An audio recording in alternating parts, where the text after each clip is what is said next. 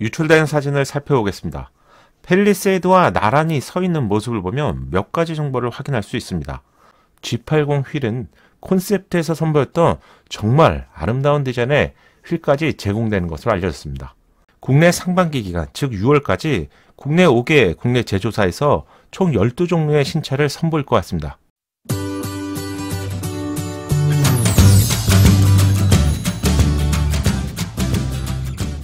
안녕하세요. 연목구름입니다. 올해 시작과 함께 GV80의 티저가 공개가 되었습니다.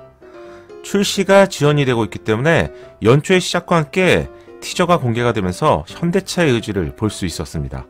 하지만 어떤 이유가 있었을까요? 이상하게도 이번 티저에는 후면부 사진을 찾아볼 수 없었죠. 후면부 사진을 추후에 공개하려는 것인지 아니면 마케팅에 일하는 것인지 이러한 부분은 현대차 그룹이 따로 말해주지 않는다면 정확한 이유를 알 수 없습니다. 하지만 유출되었던 후면부 이미지가 그동안 심심했다는 평가를 받았기 때문에 이러한 부분의 궁금증은 더욱 커지는 것 같습니다. GV80 소식을 가장 빠르게 전달하는 네이버 카페 GV80 클럽에서 후면부 사진을 최초로 공개했습니다. 영상을 시청하기 전에 구독을 부탁드립니다. 신차 소식을 빠르고 정확하게 받아볼 수 있습니다. 그리고 주변에 도움이 필요하신 분들이라면요. 공유도 함께 부탁드립니다. 유출된 사진을 살펴보겠습니다. 펠리세이드와 나란히 서 있는 모습을 보면 몇 가지 정보를 확인할 수 있습니다. 첫 번째는 예상보다 정말 크다는 점이죠. 대부분의 소비자가 펠리세이드는 뭐 익숙하게 봤지만요.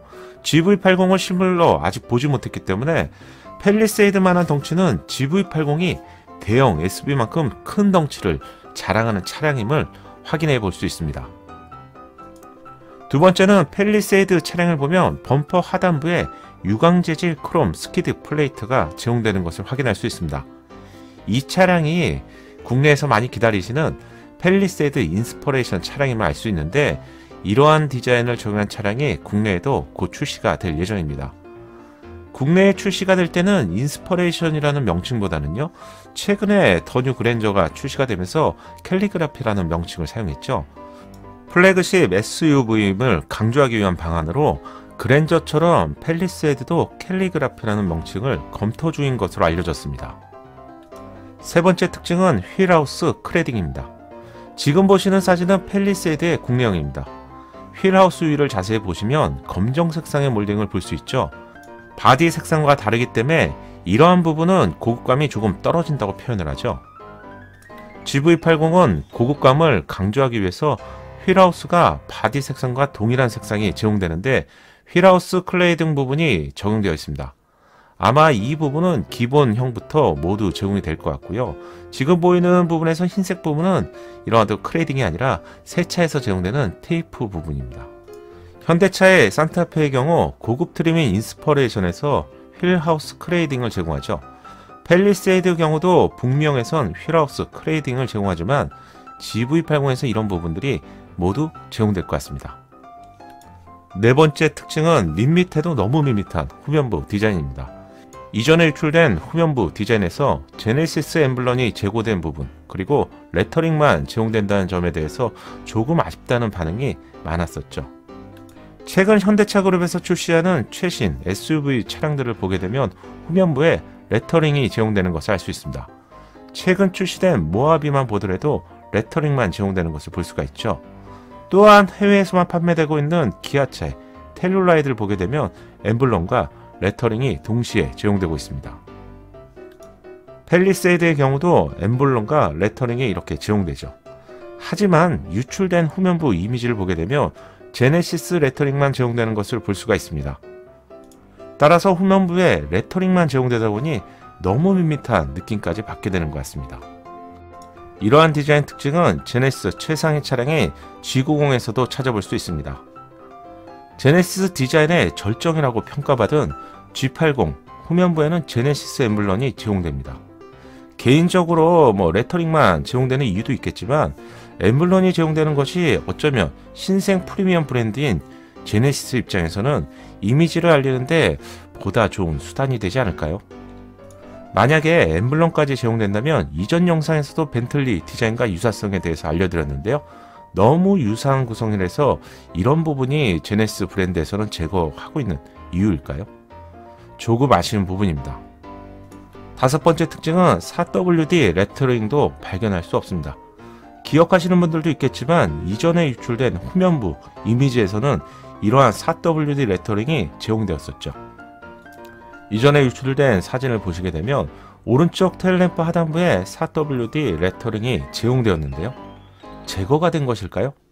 아니면 레드 색상 차량이 이 차량보다 먼저 촬영이 되었고 그리고 흰색 차량이 나중에 촬영이 되면서 흰색 차량이 양산형에 가까운 모델이라고 생각할 수도 있을 것 같습니다. 여섯 번째는 머플러 디자인 형상이죠. 머플러 디자인은 오각형으로 제네시스 디자인의 identity를 담고 있습니다. 대표적으로 이런 오각형 디자인을 crest grille에서 찾아볼 수 있죠. 또한 이전 영상으로 알려드렸는데요. 먼저 출시가 되는 GV80 디젤 모델에서는 아쉽지만 dual 머플러가 제공되지 않을 것 같습니다. 이러한 부분은 국내 소비자가 정말 좋아하는 아이템인데 말이죠. dual 머플러는 가솔린 모델에서만 제공되는 것으로 알려졌습니다. 마지막으로 일곱 번째는 22인치의 사이즈 휠입니다. GV80 소식을 전달해드리면서 22인치 크기의 휠이 제공된다고 초기에 알려드렸을 때 사실 대부분의 반응은 설마 이런 분위기였습니다. 20인치도 크다고 생각하시는 분들이 많았는데요.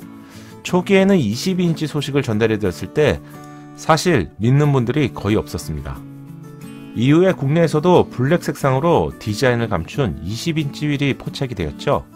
이때부터 22인치가 정말 제공될 수 있겠구나 라고 기정화 사실이 되었던 것 같습니다. 네이버 카페 GV80 클럽에 하이빈님이 공개하신 사진을 보게 되면요. 265 40알 22인치의 크로미를 볼 수 있습니다. 실제 본다면 딱 이런 느낌일 것 같은데요. 디자인은 심플하면서 고급스러운 느낌입니다. 큰 사이즈 덕분에 중앙에 있는 로터가 원형 로터가 너무 작게 보이는 것 같죠? 참고로 중앙부에는 제네시스 엠블런이 제공됩니다. 정말 고급스럽겠죠? 추가적으로 한 가지 소식을 더 알려드리면요. 네이버 카페 GV80 클럽에 따르면 이제 한 3월 정도에 3세대 G80이 출시가 되죠. G80 휠은 콘셉트에서 선보였던 정말 아름다운 디자인의 휠까지 제공되는 것으로 알려졌습니다. 정말 이러한 디자인이 양산차에서 제공된다는 점은 정말 대단한 것이라고 볼 수 있고요. 휠 디자인만큼은 정말 호불호가 없을 만큼 잘 만드는 것 같습니다. 새롭게 공개된 후면부 이미지를 보면서 콘셉트와 동일한 느낌이지만 뭔가 조금 다른 느낌을 받았습니다. 여러분들도 그렇게 생각하시는 분들이 있을 것 같은데 어떤 이유에서일까 생각해 봤는데요. 첫 번째 이유는 볼륨감입니다. 콘셉트에서 보여준 풍성한 볼륨감이 어딘지 사라졌죠. 이러한 볼륨감이 양산차에서 사라졌습니다. 물량 투입이 자유로운 프리미엄급 차량임을 고려할 때 또는 기술적인 문제도 아닐 텐데 어, 이 부분이 어떻게 된 것일까 조금 아쉬운 부분인데요. 저만 그렇게 생각하는 것일까요? 두 번째 이유를 보게 되면 테일램프 쪽 디자인이 콘셉트에서는 양감을 느낄 수 있게 좀 도톰하게 튀어나와 있죠.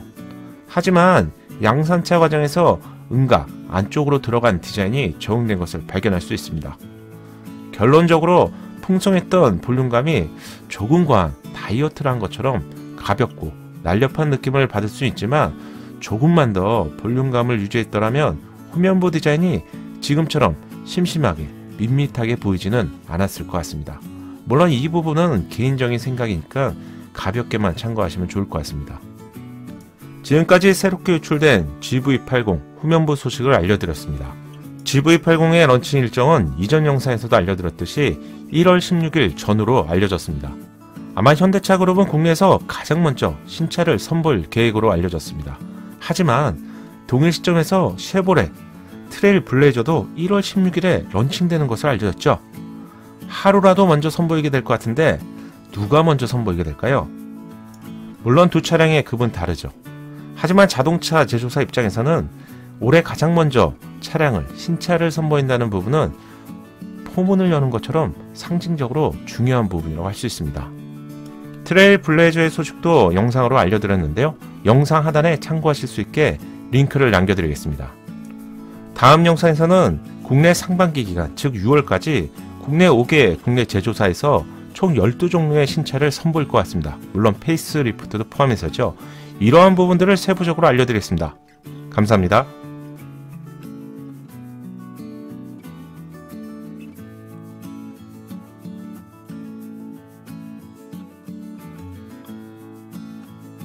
연목그룹의 신차 정보가 작은 도움이 되셨나요? 국내에서 신차 소식을 빠르고 정확하게 듣고 싶다면요. 구독을 부탁드립니다. 공간과 알림 설정까지 하시면요. 편하게 받아보실 수 있죠. 감사합니다.